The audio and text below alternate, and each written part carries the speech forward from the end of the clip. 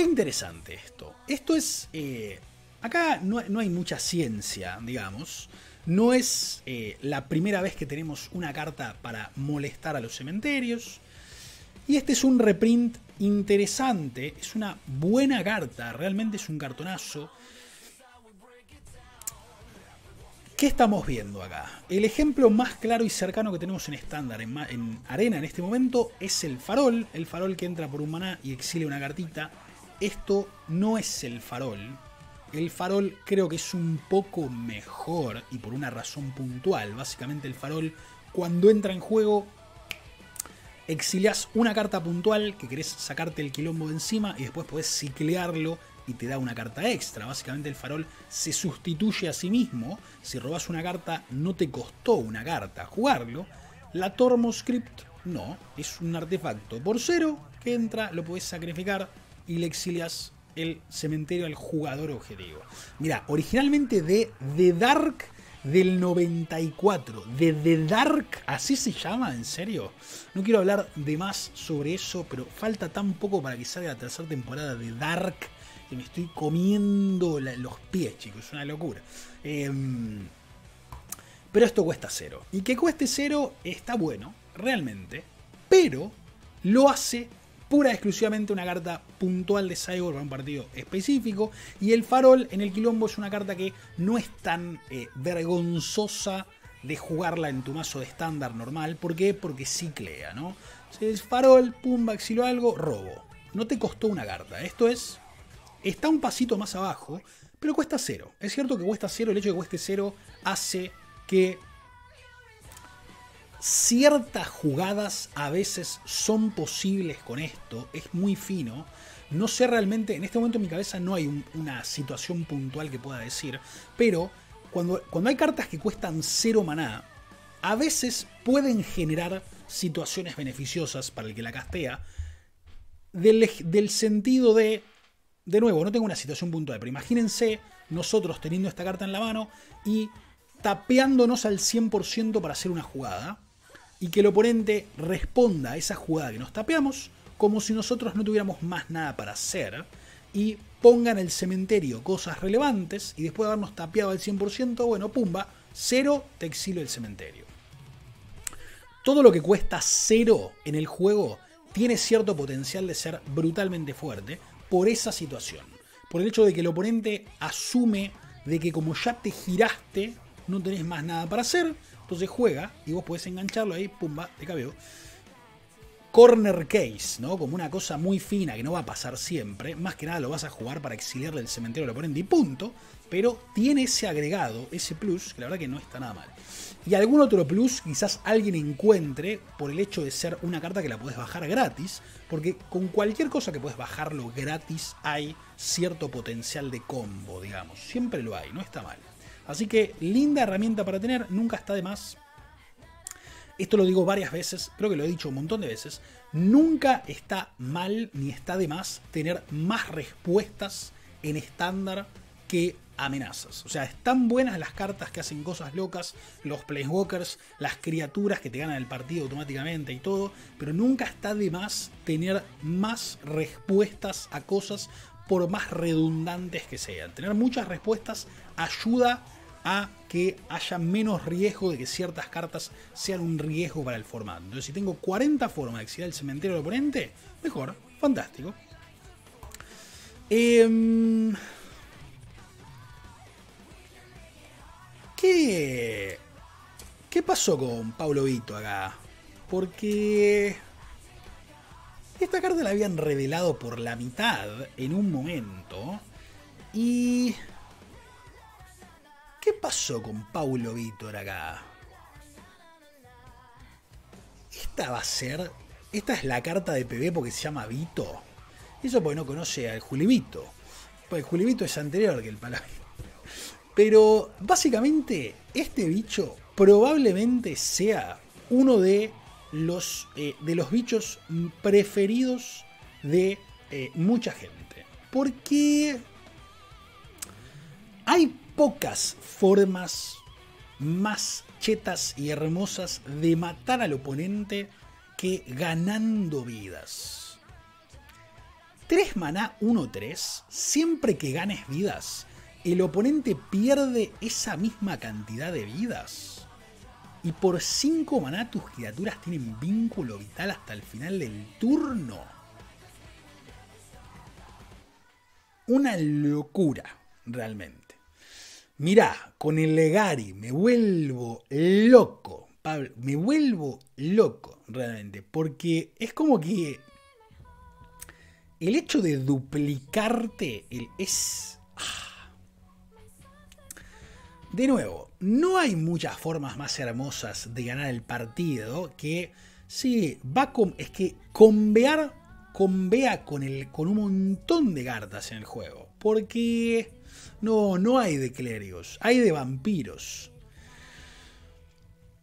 Esto es un vampiro para Juanpi. Vamos a jugar a Juanpi y a Paulovito se juega Juanpi y Vito. Vuelve Juanpi Sorín porque volvió a salir un vampiro después de un montón de tiempo. Y quizás hay un mundo en el cual se puede volver a jugar vampiros.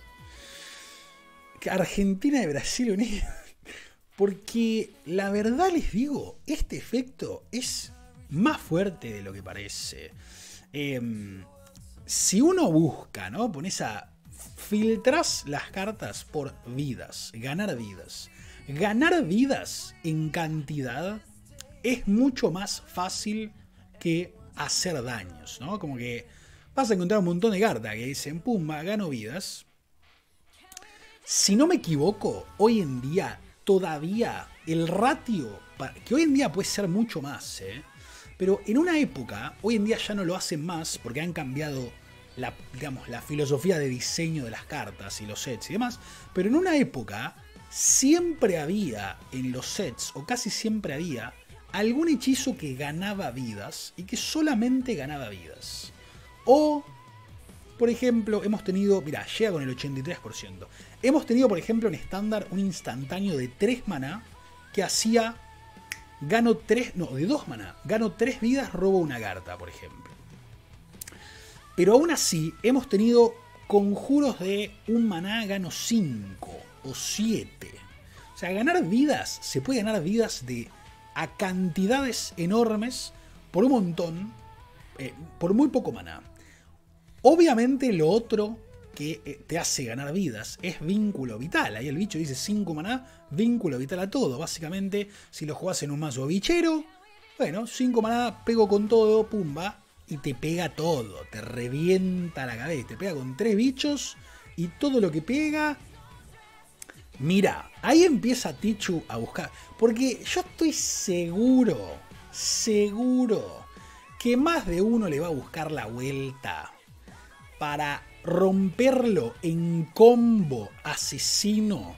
Y hoy cuando vi la carta, no les quiero, no sé si adelantarles o no cuál es el mazo que quiero armar, pero tengo unas ganas de probar esta carta en un mazo espantoso, pero que si le ganas al oponente así, creo que te conceden, no te juegan, te banean del juego. Hay formas de abusar este bicho, pero de modos impensados.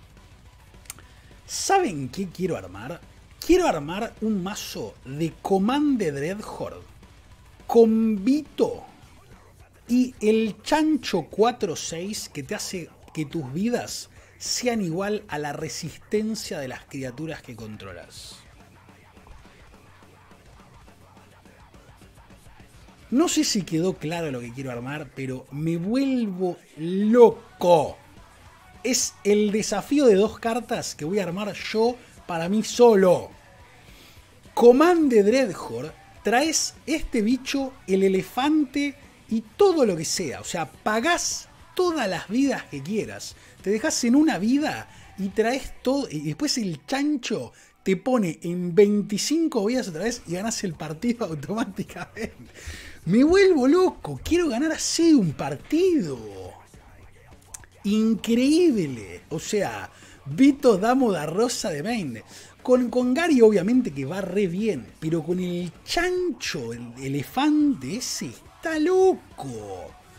Claro, porque sos hábil jugador y te Es una bomba atómica. Básicamente el Loxodon dice que podés hacer que tu total de vidas se convierta en el total de la resistencia de las criaturas que controlás. Y eso sigue contando como ganar vidas. Porque alguno se puede confundir y decir, bueno, pero el Loxodon no dice que ganás vidas. Dice que tu total de vidas se transforma en la resistencia de todos los bichos. Es cierto, pero sigue contando como ganar vidas para el juego. Eh, en 10 días te ganás el Pro Tour con ese masito, me vuelvo loco. ¿Cuál sería el problema de ese mazo? Y que tenés que jugar todas las cartas que acabamos de nombrar, básicamente. El problema es que tenés que jugar todas esas cartas que son un pomo infinito. Pero eh, con el Celebran está bueno, sí, básicamente. Trans Lo que pasa es que no está tan bueno. Me transforma los piñitos en doble piñito. Que no está mal, pero es como que si fuera otra carta que hace un piñito, digamos. Es como que, ¿qué diferencia hay entre tener una Cruel Celebrant y esto y tener dos Cruel Celebrant? Básicamente es lo mismo, ¿verdad? O sea, yo creo que esta carta pide. Pide, viste, algo bien explosivo, como que sea una bomba brutal, que se rompa todo. Em, Helios Intervention, que dijo dicho ahí temprano, que está bueno. Pero la verdad, les digo, este bicho es. Eh, es de los que la gente que. E, estos son los bichos que sacan porque saben que está el público ahí, que está la gente que quiere aplaudir. Sí, gracias. Gracias, una carta para romper las pelotas y ser feliz. Me encanta. Y ojo, porque se hace competitivo y no me sorprendería, ¿eh? No es una carta meme, chicos, ¿eh? No es una carta meme, pero ni de casualidad. Es una bomba atómica este bicho. Genial. Pide, pide cancha real, ¿eh? Hablando de pide cancha. Wow. Miren, les voy a dar un pequeño hint en esta votación. O sea, voy a hacer esta votación un toque diferente para que por las dudas, que por la voy a darle chance a más de uno de no errar con la respuesta. Entonces les doy ahí como tres veces sí y una vez no, para darles un pequeño hint, cosa de que no se equivoquen, ¿sí? Porque, chicos, la mágica instantánea. Destruya criatura albo con gusto. No sé pronunciar portugués. Lo entiendo el portugués, pero la pronunciación es espantosa. Em, no hay mucho para decir acá ni para descubrir.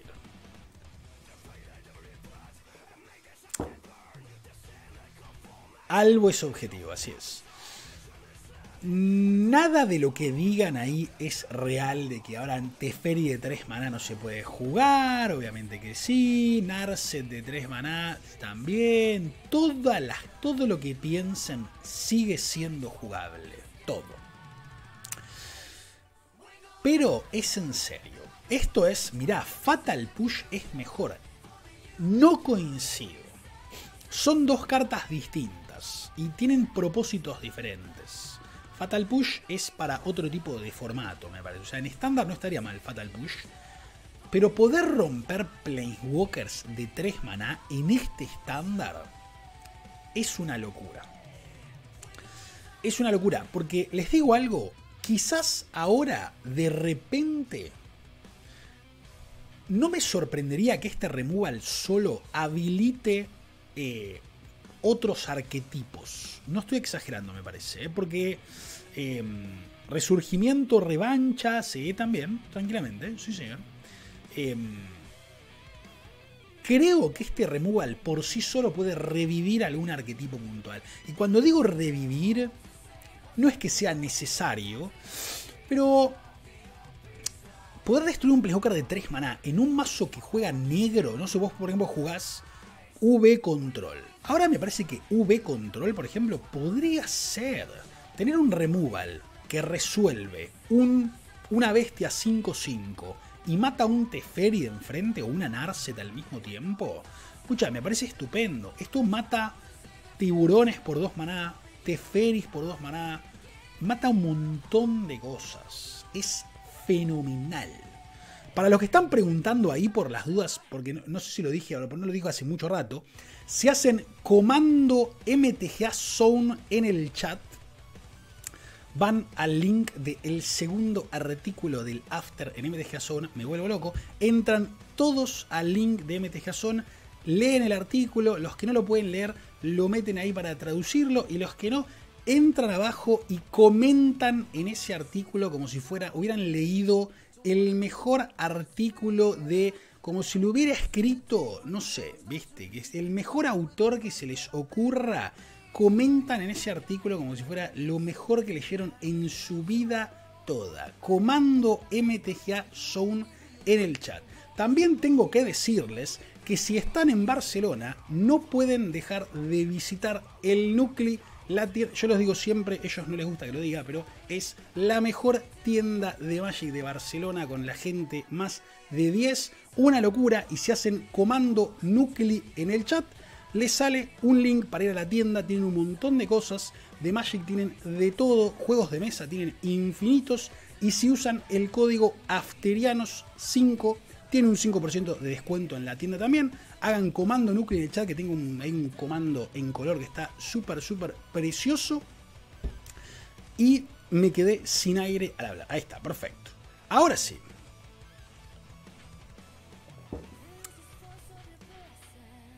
No hay mucho más para decir de esta carta, realmente les digo. Esto es pura, simple y llanamente eficiencia de removal. Se va a jugar se va a jugar. No todos los mazos quieren un tipo de carta de esta, pero chicos, esta carta es estupenda.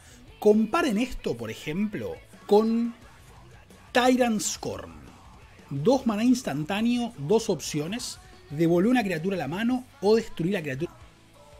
Pero bueno, tres mana es Teferi y Narset en este momento. Puede ser Gideon, puede ser el nuevo Planeswalker blanco, puede ser algún Planeswalker nuevo que salga, pero pero bueno, tres maneras Teferi y Narset en este momento. Puede ser Gideon, puede ser el nuevo Planeswalker blanco, puede ser algún Planeswalker nuevo que salga, pero te saca realmente muy buenos problemas. Eh, sí, gordo, tremendo, real, ¿eh? Ahí hicieron comando nuclear en el chat, bien ahí. Em, estupendo. Y esto es solamente negro. La diferencia entre un instantáneo azul y negro y uno solo negro es la vida la vida. Porque la flexibilidad de esta carta, lo fácil que es castearla, es increíble. Y de nuevo, es, está en un color que hace rato que se le venía complicando para lidiar con ciertas cartas. Es como que Mm, en un momento se suponía, ¿se acuerdan cuando salió el jinete, el caballero 2-3 negro, vínculo vital, que tiene el, el Heroes Downfall anexado, que todo el mundo dijo, esto es increíble, es el nuevo Heroes Downfall, eh, lo sustituye perfectamente, porque encima te da una 2-3 vínculo vital atrás, es increíble, y de repente estamos viviendo en un estándar en el cual esa carta es muy lenta muy lenta. Y este removal es brutalmente más eficiente que una carta de esas. No te da un 2-3 vínculo vital atrás, pero por 2 maná te saca de los quilombos, pero fenomenalmente bien. Es cierto, no puedo matar un Teferi on the draw porque el Teferi no me deja jugarlo como instantáneo y si el oponente deduce de alguna forma que tengo esta carta en la mano, va a jugar Teferi y va a ser menos 3 automáticamente. O sea, para matar Teferi, salvo que el oponente haga más 1, es un pomo bárbaro, no es, no es lo que querés hacer. Pero, y la Narset, si te la juegan, ya robó una carta, te hizo el 2 por 1 Pero esta carta es muy flexible. Porque si no mata una Narset, está matando un Mayhem Devil on draw. Pumba, se fue, enderezo, libre, hermoso, excelente súper, súper eficiente. No mata un montón de cosas, es verdad, pero yo creo que eh, me atrevería a decir que eh, prácticamente en cualquier partido de estándar que juegues en este momento esta carta está viva, porque incluso en los contra los mazos que no juegan criaturas, algo haces. El hecho de que mate tiburones le da cierta utilidad, porque en los peores partidos, ¿cuál sería? Blue White Control. Y Blue White Control te va a poner un tiburoncito. Temur Reclamation te va a poner un tiburoncito, te va a poner un uro enfrente, le vas a matar el uro al oponente, vas a tener un target en todos los matchups. Tiene que ser un mazo que quiera jugar un removal de 2 maná, que no todos los mazos quieren jugar un removal de 2 maná, pero los mazos que quieran hacerlo, esta carta va a ser, pero estupendo. Mata un Juan Pisorín en el guion también, es verdad. No sé por qué querrías matarlo a Juanpi, mí realmente, porque Juanpi no merece ese destino, pero eh, es cierto que lo hace también. Miren quién volvió por trigésima cuarta vez. Acá les voy a dar un, un hint también, por las dudas. Eh, ustedes pueden voten como les parezca, igual, digamos. Tampoco es que es un desastre, pero esta es una carta que eh, creo que la reimprimen más que nada por una cuestión de, de no sé, una mezcla de nostalgia. Es cierto que es una carta que, si no me equivoco, como que la han reimpreso varias veces varias veces en, varios core sets, me parece. O sea, una carta que sale varias veces en los core sets. Pero es una carta que ya, ya tiene texto de, em, de otra época, digamos. Si ese spell es siempre que castes un hechizo blanco, azul, negro o rojo, le pones un contador más uno más uno a la dríada, que es una 2 mana 1-1 y con un poco de suerte termina siendo una 2 maná 3-3 al otro turno. Em, pero hoy en día es como que. No, estamos pagando. Hoy en día estamos pagando 3 maná por una 5-5, 4 maná por una 6-6, 2 maná por una 3-3 con upside como nada.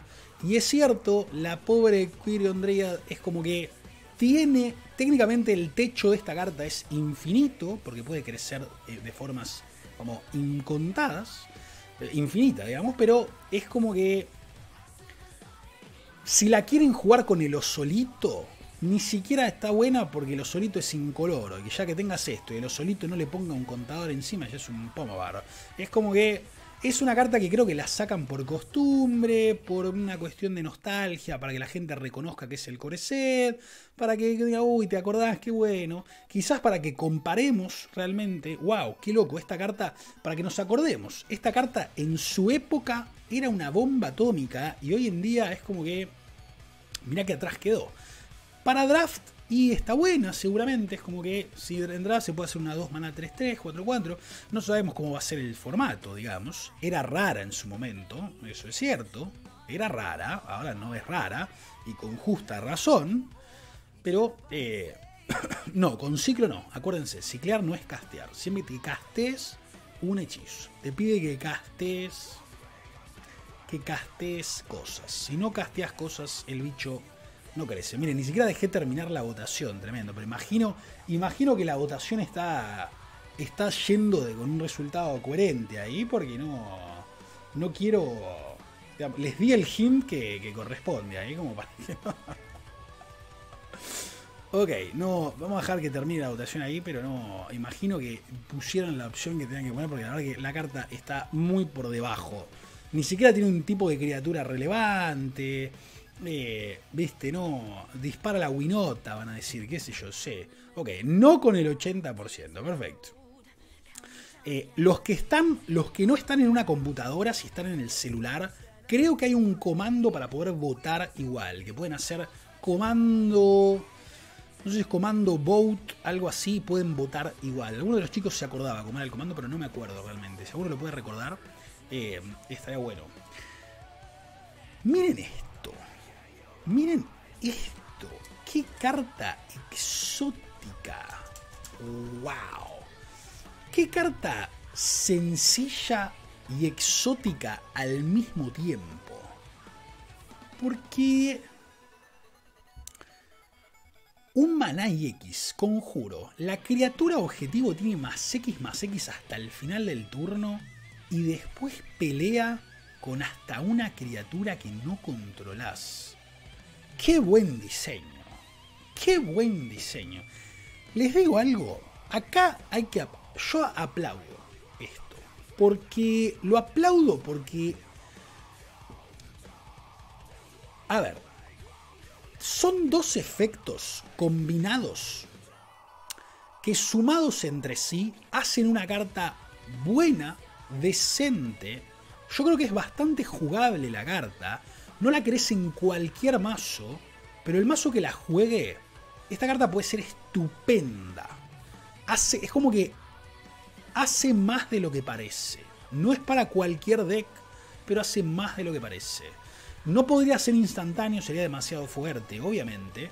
Pero acá yo quiero, es como que felicito al que hizo el diseño de esta carta, porque cumple todos los requisitos que tiene que cumplir. Es una locura.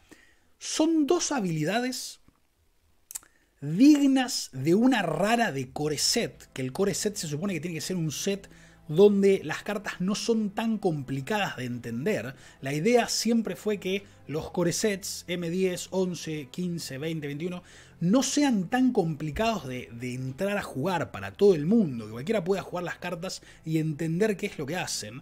Y esta rara es simple, simple de entender porque son dos efectos que tenemos en cartas separadas, pelear y más X más X.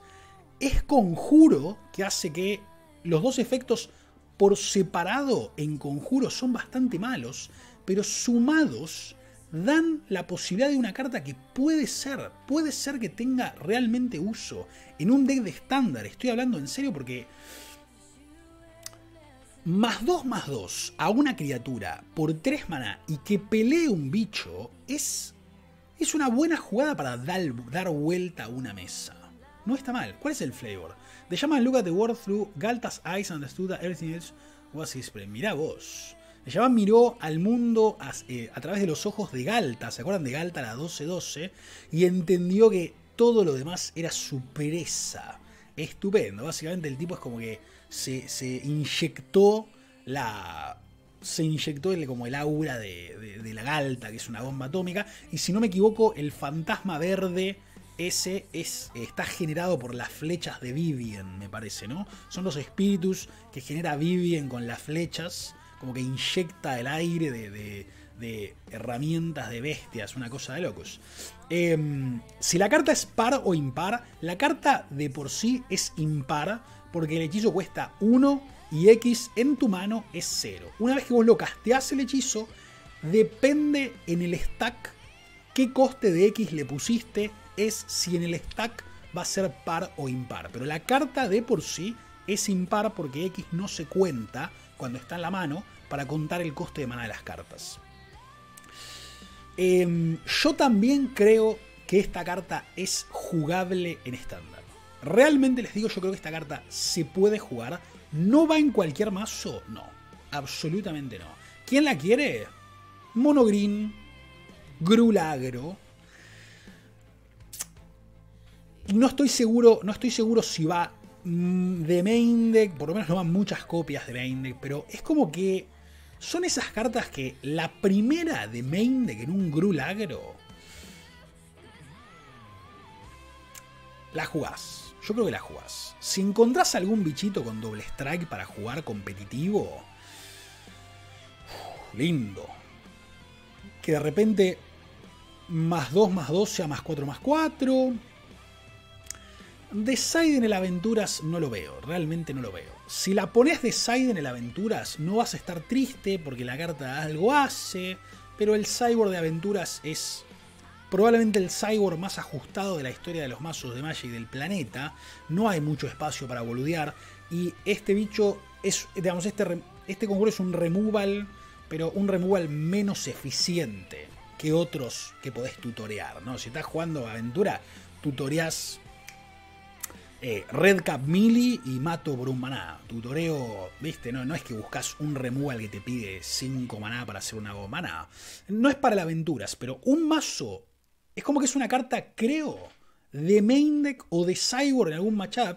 Mira, con el Spellbreaker que tiene Hexproof en el quilombo que sabes que resuelve, ni hablar si el bicho ya está equipado con un Emberclip, ponerle que le das más X más X y es doble strike, es una locura.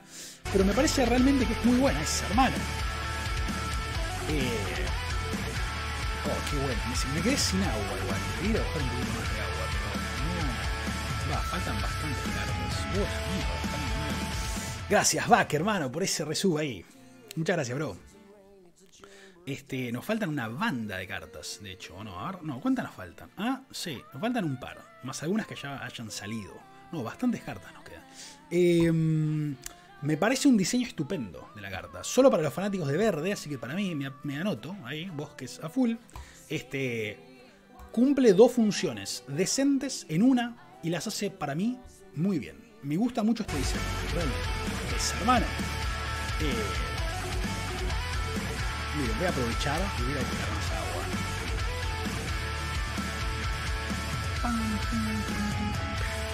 Gracias Dark, hermano, por ese resubo ahí también. Gracias, chicos. Este, vamos a una cosa.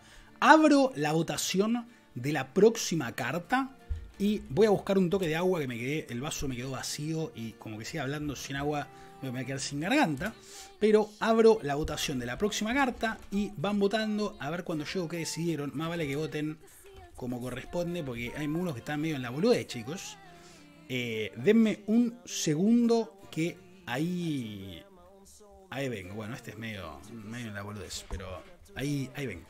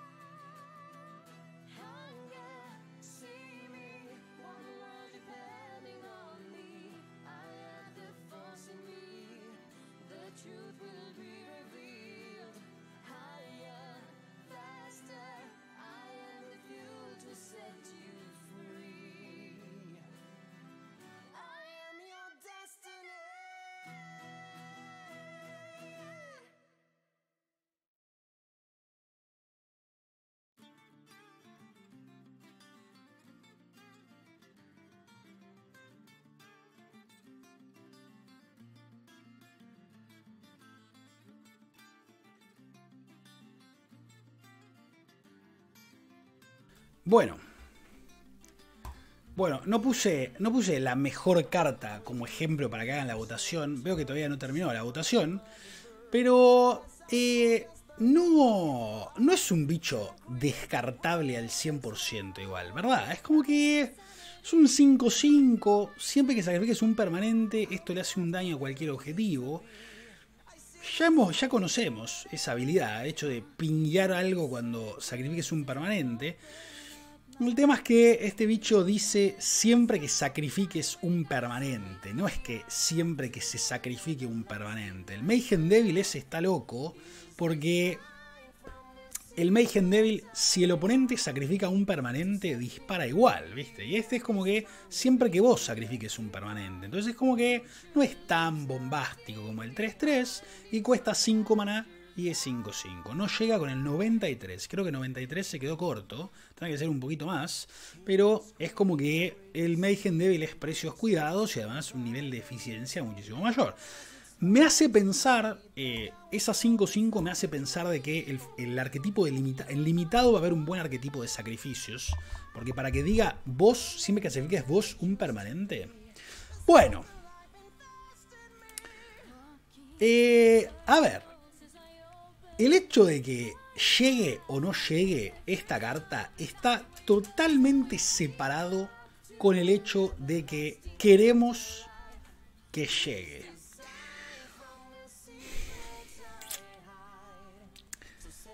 Estándar se va a convertir en una guerra, viste, como de a ver quién tiene la mascota más linda perros agro va a ser un mazo.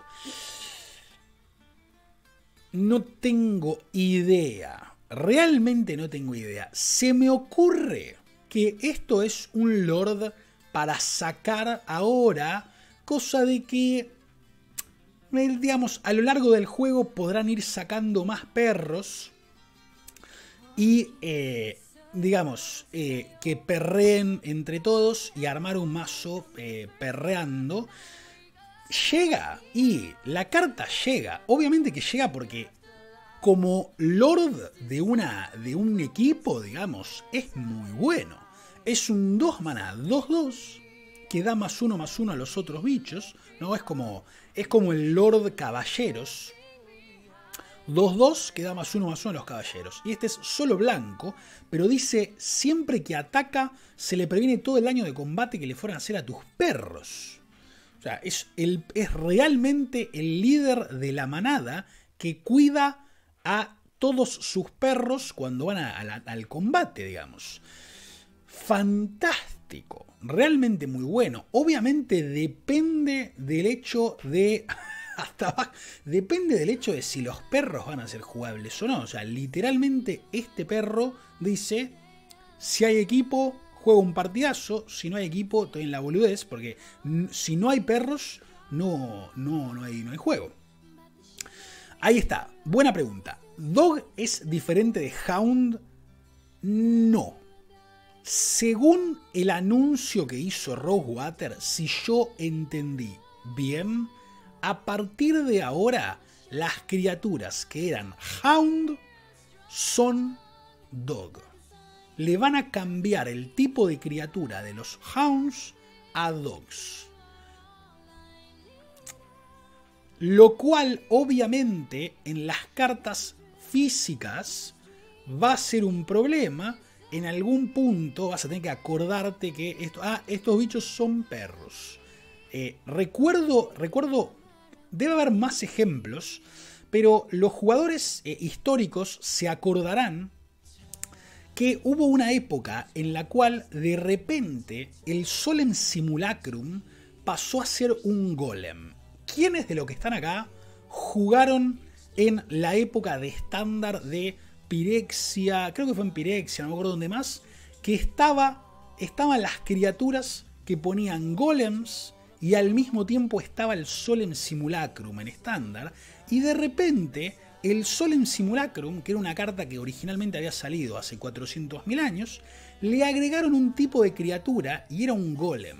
Entonces teníamos una situación en la cual, cuando jugaba la gente en estándar, mira el Ale, el Ale se acuerda, claro que sí. La gente jugaba estándar en las mesas y resulta que, por ejemplo, tenías un bichito en juego, que era un 1-1, que le daba First Strike a tus golems. Era un 1-1 que entraba, ponía un 3-3 golem y decía tus golems tienen first strike. Entonces vos jugabas Solem Simulacrum también, pero si tenías la carta del Solem Simulacrum vieja, no decía que era un golem, decía tipo de criatura, constructo, alguna cosa nada más, y se le agregó el tipo de criatura golem después. Entonces pasaban partidos que la gente, bueno, bloqueo con esto, bueno, tiene First Strike. ¿Cómo tiene First Strike? No es un golem. Sí, es un golem, llama al juez porque le agregaron el tipo de criatura golem después. Acá puede llegar a pasar lo mismo en algún punto en el futuro si es que los perros son un problema, que no creo. Pero básicamente vamos a tener cartas impresas que tienen una errata porque dicen que son un tipo de criatura que no lo son. Las cartas digitales en Arena y Magic Online van a estar corregidas, entre comillas, digamos, y van a decir lo que corresponde. Es como que el otro ejemplo que recuerdo básicamente es, ni siquiera el otro ejemplo, hay varios y son... Es, eh, fácil de nombrar en realidad. Sí, Juli, claro que me acuerdo, estoy contando. Eh, es lo mismo. Es lo mismo, por ejemplo, que tener las cartas viejas que dicen, esto hace daño a criatura o jugador y que después se agregó, se cambió y puso hace daño a cualquier objetivo. Es como la misma errata de ese tipo. Ahora vamos a tener que recordar que Hound es perro, Hound es dog, y tener eso en mente, pero es como que es, como si fuera se cambió la forma en la que se escribe este tipo de criatura. No es que se inventó otro tipo de criatura, ¿no? Se cambió la forma en la que se escribe el tipo de criatura Hound y ahora es Dog. No es que los Hounds también son Dogs. Si yo entendí bien, y lo que tiene lógica es eso, que los Hounds ahora son Dogs directamente es simplemente cambian la forma de escribir porque se dan cuenta que dicen que esto es un poco más atractivo para la gente, lo cambiamos así directamente. Eh, ¿Este bicho llega o no llega, chicos? No tengo idea. Eh, sí, Dami, ya lo sé, pero eh, Wizards Logic, ¿viste? Es así. No está mal. se protege a sí mismo, correcto. Cuando ataca, dice, previene todo el daño de combate que le fueran a hacer a los perros que controlas. Y como es un perro, se protege a sí mismo también. No está nada mal, ¿eh? ¿eh? perro. Perro caliente. Bueno. ¿Qué es esto? Esto sea posible. Mira, vamos a una votación acá. Esta carta, posiblemente, sin haber visto una gran parte del set todavía, sea. esté en la votación por eh, el top 3 de las cartas con mejor arte más eh, al pedo del set entero.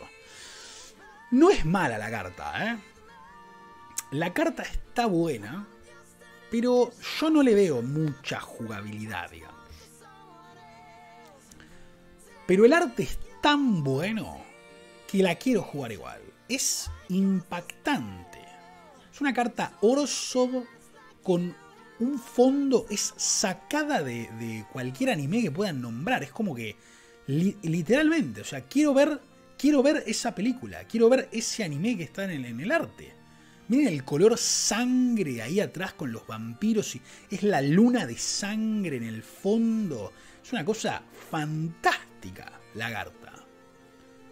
Esas cartas que querés ver la versión animada, la versión foil, porque es estupenda como que me da un poco de bronca que semejante arte, semejante trabajo que hizo Miranda Mears con, este, con esta carta, termine en una 3 mana 1-4 vínculo vital.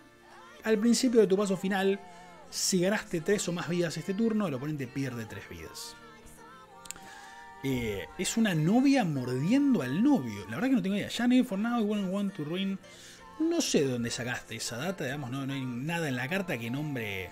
O por la ropa, decís, porque como que tiene ropa de como estar en el casamiento, digamos. No, no sé si. Yo no lo, percibí, digamos. Eh, al principio de tu paso final, si ganaste 3 o más vidas este turno, el oponente pierde 3 vidas. Un puede ser, esta está en 50. Es que, bueno, digamos, pueden. Eh, se puede abstenerse. La verdad que sí, podría, agregar una, una, tercera opción que sea. No tengo idea. Porque la verdad es que puede ser. Lo que pasa que. Esto es un drop 3.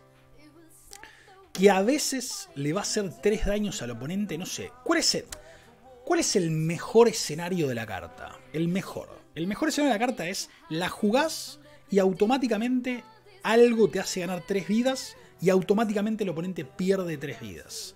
Y enderezo y puedo pegarle al oponente y ganar 3 vidas y el oponente pierda 3 vidas más. En ese escenario la carta está buena, no está mal, pero es como que siento que es mucho pedir para el mejor escenario y el peor escenario es muy malo. Es como que es una 3 maná 1-4 vuela que no hizo nada. No, le pones el aura más 3 más 1 no es un argumento eh, viable por varias cosas. Punto número uno, porque el aura es buena literalmente arriba de cualquier cosa, no en este bicho. Y segundo, el aura cuesta 3 y no querés pegar en turno 4 con el aura, querés pegar en turno 3. Querés jugarla, querés jugar un bicho de 2 maná y 3 maná meterla arriba y pegar. Como que incluso allá dijimos el reisaurio y todo. Yo creo que eh, no contar drop 3, es decir, bueno, pero el aura medio, medio flojo. Pero es un vampiro para Sorin también. Mira, Negate perdiste esa me eh, Estoy emocionado porque quizás no haya sido el último capítulo de Juan Pizorín el que hicimos la otra vez, que le dimos el último le dimos el último toque como que creíamos que ya está, ¿no? Que se va. Parece que vamos a tener un par de meses con otros vampiros en el juego y quizás si sacan alguno que otro decente podamos hacer, hacer el, digamos, que vuelva el retorno del verdadero amo y señor. Lo que pasa que van a tener que salir buenas cartas, porque los vampiros que había en estándar con Ixalan y todo eran una bomba atómica. Acá tiene que salir algo un poco más poquito más, más, un poco más agresivo, digamos. Tiene que ser un poco mejor. Esto solo no alcanza. Y la verdad que este bicho no lo veo mejor que el vampiro 2-3 vuela, que siempre que ganes vida se pone un contador más uno más uno, por ejemplo. Que ya es un drop 3 volador, que es medio un perno, pues medio lento. Esto no me parece ni siquiera que sea mejor que eso. Así que yo lo dejaría eh, en el banco por ahora, en el banquillo y después eh, vería qué otros vampiros salen, digamos. Em, sí, pero son dos drop 3 que encima necesitan que los ayudes, digamos. Es como que no. No sé si llega por ahí. ¿Qué onda, Dartolo? ¿Cómo es eso? Bueno, miren esto, gente. ¿Qué carajo? Acá les voy a agregar una tercera opción, porque esta está dura. Qué mala frase, por Dios. A veces tiene unas frases cortas separadas para que después me hagan, me televisión registrada, me, editen las cosas y Wizards me echa patadas en el orto, no me deja hablar más nada del juego, tremendo. Eh, terrible, la verdad, la verdad. Pero bueno, me tienen que... O sea, después de cuatro horas de estar hablando, te das cuenta, viejo. Hace cuatro horas que estamos en el stream. No se me puede escapar una, bueno, no, tres horas una se me tiene que escapar, por favor. Eh. O sea, vengo zafando eh, con todo. La de la tela, ¿viste? No, no está mal. Pero, mamita querida. Eh, acá les puse la opción de puede ser o no sé. Porque la verdad que es difícil. Es un artefacto que hace muchas cosas muy bien. Pero cuesta una cantidad de mana absurda. Y entra y es como que a ver, seguramente mucha gente diga, ¿cómo puede ser que estés hablando de un artefacto de 7 maná que no hace nada? La comparó con Fires. Mm, supongo que, pero debe haber hecho una comparación de otra manera, ¿no? No creo que haya sido directamente a ver si es mejor. Me sorprendería, sea, es, una carta muy diferente, obviamente. Pero, a ver, es un artefacto de 7 maná que dice que podés usar maná de cualquier color. O sea, básicamente podés castear los hechizos con cualquier cosa, porque tu maná se puede transformar en maná de cualquier color, que si pagas 5 y la girás, dice, roba una carta por cada color entre los permanentes que controlás. Pero te agrega 5 maná cuando la girás. Y esto, acá está la clave, exactamente, man. te devuelve 5. El tema es que te devuelve 5 y es como que estamos acostumbrados a ver este tipo de artefactos, decir, y sí, te devuelve 5, pero es un artefacto. Pero te devuelve 5 maná de cualquier. Ahí está, Crane, ahí está. Eso es lo que le debe haber pasado a más de uno cuando la leyó y a más de uno que no entiende por qué la estamos discutiendo de esta forma. Pero el artefacto dice que podés usar maná como si fuera de cualquier color. No te devuelve 5 maná incoloros, te devuelve 5 maná de cualquier color. Porque el artefacto te dice que puedes castear las cosas como quieras. Entonces un artefacto que agrega que cuesta 7 y te devuelve 5, pero te devuelve 5 para castear literalmente cualquier cosa. Entonces, básicamente lo que estaría sucediendo es que vos sacrificás tu turno 7 para usar 5 maná en lugar de 7, ¿sí? Es como que sacrificás ese turno 7 para jugar algo por 5 y al otro turno saltaste de 7 a 12 maná o 13 con tu Landrop automáticamente e incluso puede ser una carta que robe cartas. Eh, sí, digamos, lo único que hace, el tema es que lo hace de una forma eh, muy eficiente. Sí, Hugo cuesta un mana más. El mismo mazo que juegue esto puede jugar Hugo, puede jugarlo con las dos cosas, digamos. Eh, lo hace de una forma muy eficiente. Muy. Y yo les quiero recordar algunas cartas puntuales que hay en estándar en este momento que pueden llegar a interesarles en este tipo de mazos. Y qué pasa, por ejemplo, si el mazo que juega esta carta para rampear juega la bendita llama Kiora. Porque si vos tenés Kiora en tu mazo, por ejemplo, si vos robaste Kiora y de repente, o tenés, digamos, si tenés Kiora en juego, de repente este artefacto entra y te da 10. Te costó 7 y tenés 10. Porque entra, gira por 5, la Kiora lo endereza, tenés 10 maná de cualquier color, literalmente de cualquier color. En el escenario espantoso que no tenés la Kiora en juego y tenés que castearla de tu mano porque no tuviste tiempo, entra el artefacto por 7, agrega 5, uso 3 para la Kiora, me quedan 2, enderezo el artefacto, tengo 7 maná otra vez y bajé el artefacto y la Kiora gratis. Ese potencial es, eh, mira, con la llave que endereza, bueno, ahí ya está súper profundo, pero me gusta. La llave que endereza los artefactos por un maná, tiene maná pero como loco directamente, no está mal. El artefacto de un maná dice puedes enderezar otro artefacto, si no me equivoco, no sé si tenés maná infinito, pero eh, hay un montón de cosas. El artefacto 1-4 que endereza, pasa que el artefacto 1-4 es bastante menos jugable que Kiora, ¿verdad? Kiora es una carta estándar que se puede jugar tranquilamente. Yo les digo algo, me sorprendería que Kiora y esto no sean un mazo. No sé a qué jugarían, obviamente. Probablemente juegue Win y otras cosas, porque en este momento, si vas a rampear en estándar, probablemente juegues Win. Pero el hecho de que te devuelva 5 maná de cualquier color, para mí le da un potencial brutal. Brutal porque, digamos, puede robar cartas el artefacto también. Es como que, sí, 5 y girarlo, es, una, es como es una opción desesperada extra que vas a tener, no es algo que lo vas a hacer todo el tiempo. Pero sí, el del negate perdiste se puede hacer también, pero eso aplica, eso no dijeron con win. Cuando hablamos de win no dijeron negate perdiste, entonces acá tampoco.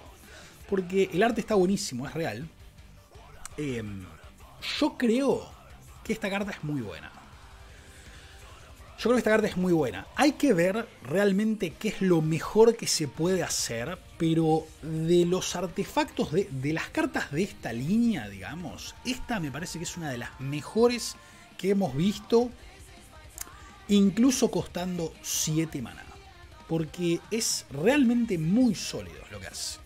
Eh, claro, si cuenta los counters, los counters hacen todas las cartas, ¿no? Eh, es estupendo.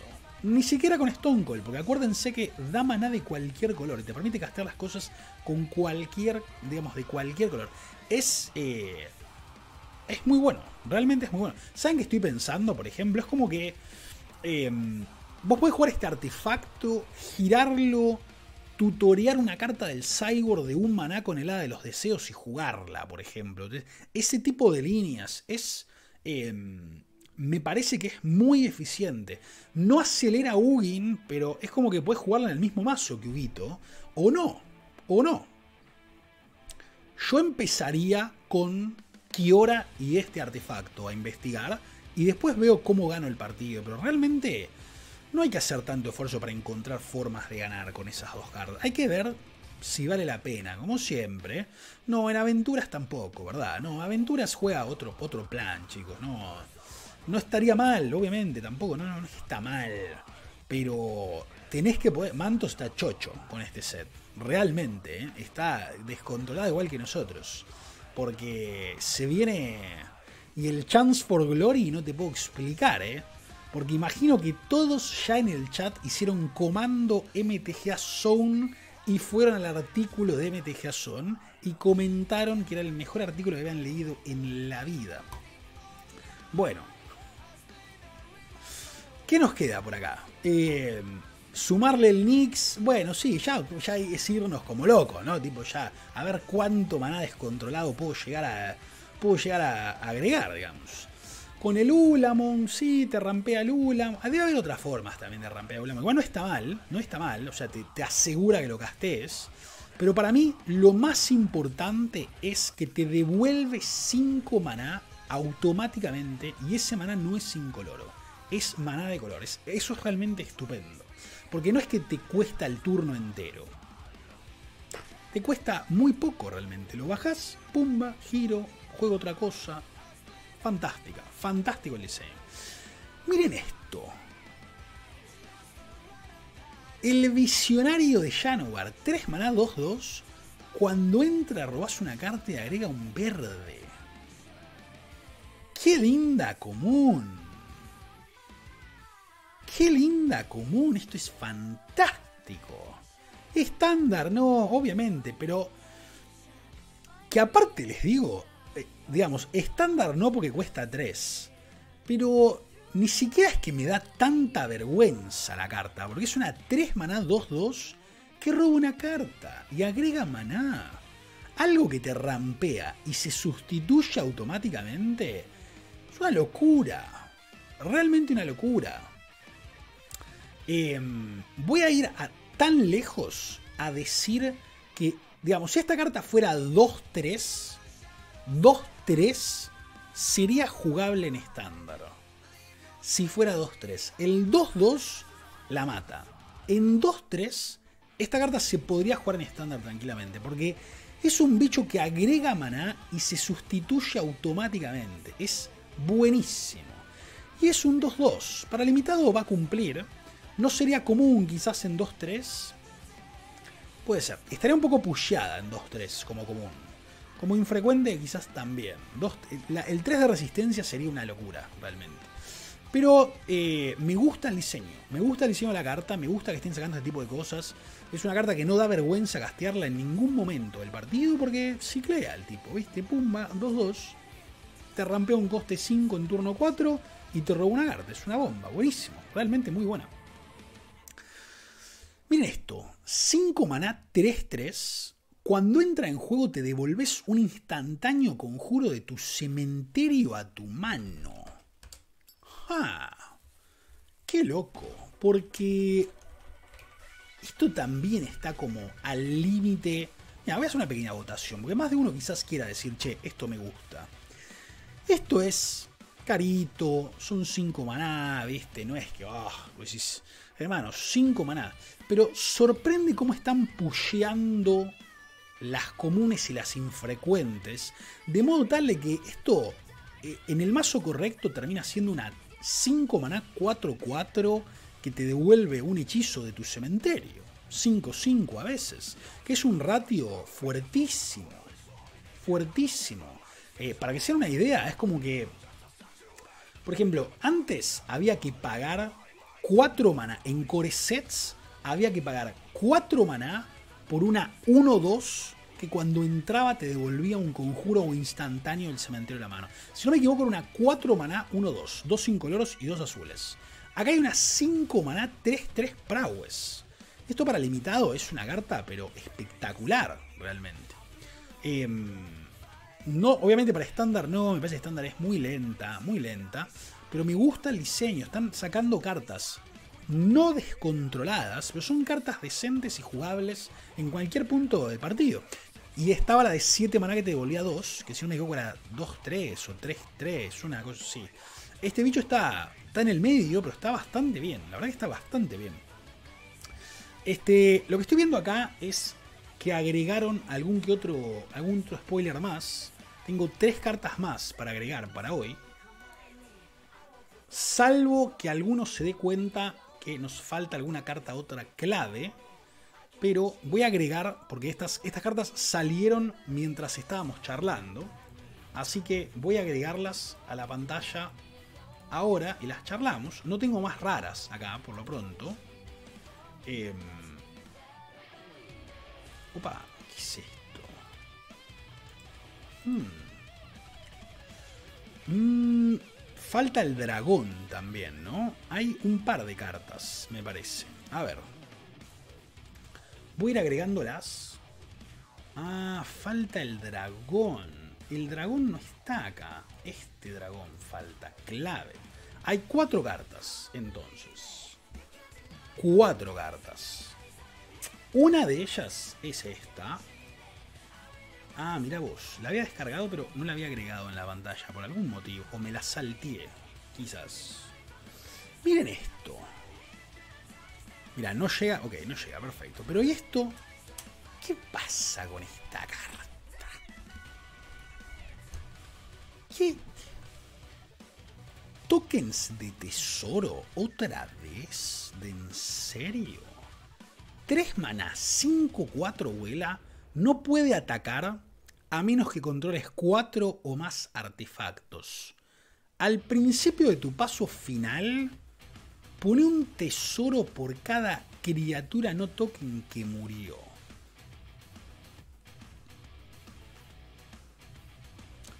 Obviamente es todos los finales del turno, ¿no? No es que cuando entra en juego pone tokens. Final del turno por cada criatura. No token que murió, y no tiene que ser criatura del oponente, puede ser criatura nuestra también. Pones un tesoro, que es un tesoro, es un artefacto que tiene, giralo, sacrificar artefacto, agrega un maná de cualquier color. Mira, ahí ya está. Combo con el gato. Y no es tan loco de pensar, porque el gato y el horno ponen, digamos, son artefactos, carta que pone artefactos. Pero esto es un 3 maná 5-4, ¿no? Es como que... Ah, esta está difícil, ¿eh? Se viene Mirta con un 5-4 vuela por 3. Primero, es un drop 3 que puede bloquear. Solamente dice que no puede atacar si tenés 4 más artefactos, significa que defenderte te puede defender. Es un 5-4 vuela por 3. Al principio de tu paso final pones un tesoro por cada no token que murió. ¿Saben que me parece que puede ser? Mm, el azote del corona. ¿En serio? Tipo, es como el azote del virus. Eh, ¿Saben que puede ser que esta carta tenga un lugar en Shun Sacrifice? Porque, digamos, el Shun Sacrifice literalmente es un mazo que le importa que sacrifiques cosas. Y además de cambiar con el gato y el horno, es como que los tokens de tesoro también están bien en ese mazo. Porque el Show Sacrifice es un mazo que puede usar muy bien el maná extra. Cualquier cosa que le dé maná extra a ese mazo significa más recursos para usar, más cartas para robar. Sacrificar tokens de, tokens de tesoro va bien con el Mayhem Devil y va bien con el Corvold. Y sobre todo, no estoy seguro que las listas de Shun Sacrifice estén tan ajustadas como para no tener un lugar para esta carta. El tema es que hay que ver si vale la pena, porque si en turno 3 esto es un 5-4 vuela que no puede atacar. Todas las cartas que en curva le falta algo, eh, puede ser Leo, puede ser, este coreset está descontrolado realmente. Em, la comida es artefacto, así es, exactamente que no sé por qué es artefacto, un flavor fail a mí. Mira, llega con el 79%. Todas las criaturas que no son buenas en su punto de la curva tienen que tenemos que leerla varias veces, ¿no? Es como es como la gárgola 5-4 vuela de 2 maná azul que nunca hace nada de lo que tiene que hacer. Pero este bicho como que ni siquiera es necesario jugarlo en turno 3, ¿no? Como que puedes esperar... Em, ¿Saben por qué creo que esta carta es jugable en Shun Sacrifice? Porque esta carta en ese mazo tiene real potencial de ser jugada en turno 3 y ser buena igual. ¿Por qué?